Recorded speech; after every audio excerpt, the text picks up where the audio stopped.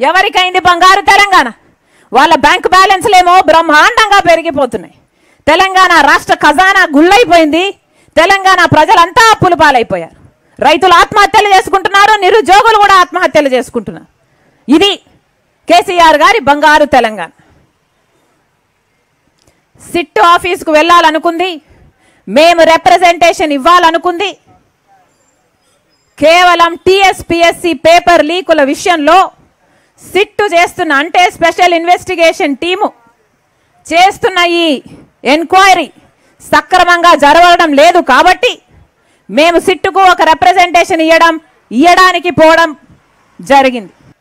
లక్ష తొంభై ఒక్క వేల ఉద్యోగాలు ఖాళీగా ఉంటే కేసీఆర్ గారు లక్ష తొంభై ఒక్క వేల ఉద్యోగాలలో ఎన్నిస్తానన్నాడు? అసెంబ్లీలో నిలబడి మరి సగం కూడా కాదు. ఎనభై వేల ఉద్యోగాలు ఖాళీగా ఉన్నాయన్న. పోనీ ఎనభై వేల ఉద్యోగాలు అదైనా భర్తీ చేశాడా అంటే దానికి సగం సగం కూడా నోటిఫికేషన్లు ఇవ్వలేదు పోనీ ఇచ్చిన దానిలలో ఎన్ని ఉద్యోగాలు ఇచ్చాడంటే దాంట్లో సగానికి కూడా నోటిఫికేషన్లు రాలేదు. పరీక్షలు పెట్టలేదు. ఎట్టకేలకు కేసీఆర్ గారు రెండోసారి ముఖ్యమంత్రి అయినాక ఎన్ని ఉద్యోగాలు భర్తీ చేశాడు అయ్యా అంటే ఎన్ని చేశాడు? సున్నా.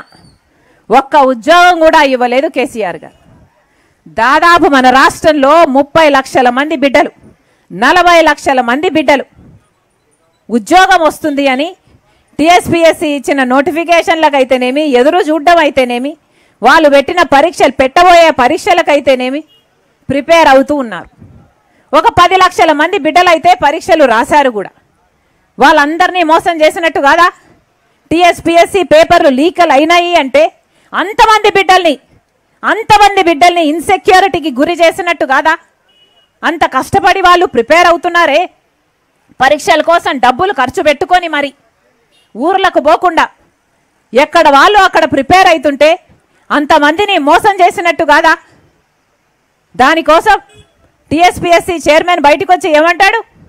ఒకడంట నిందితుడు ఐపీ అడ్రస్తో పాటి పాస్వర్డ్ కనుక్కున్నాడట.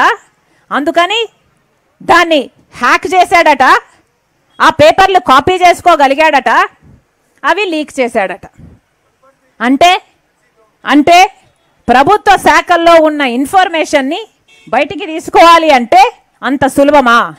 ఒక ఐపీ అడ్రస్ ఉండి ఒక పాస్పో పాస్వర్డ్ ఉంటే ఎవడైనా కానీ తీసుకోవచ్చా? ఇదేనా సెక్యూరిటీ అంటే? ఇదేనా భద్రత కల్పించడము అంటే? హ్యాకింగ్ పాసిబుల్ అయ్యింది అంటే ఎందుకయింది హ్యాకింగ్ పాసిబుల్ సిట్ అధికారులు పోని ఏదైనా ఆ దిశగా పరిశోధన చేస్తున్నారా? ఆ దిశగా విచారణ చేస్తున్నారా? కేవలం నిందితులు వీడు వీడు వీడు అని చిన్న చిన్న వాళ్ళను చూపిస్తున్నారు తప్పితే అసలు హ్యాకింగ్ పాసిబుల్ ఎలా అయింది అని అడుగుతున్నాం. అంత సులువుగా ఆ ఇన్ఫర్మేషన్ అవైలబుల్ ఎలా అయింది అని అడుగుతున్నాం.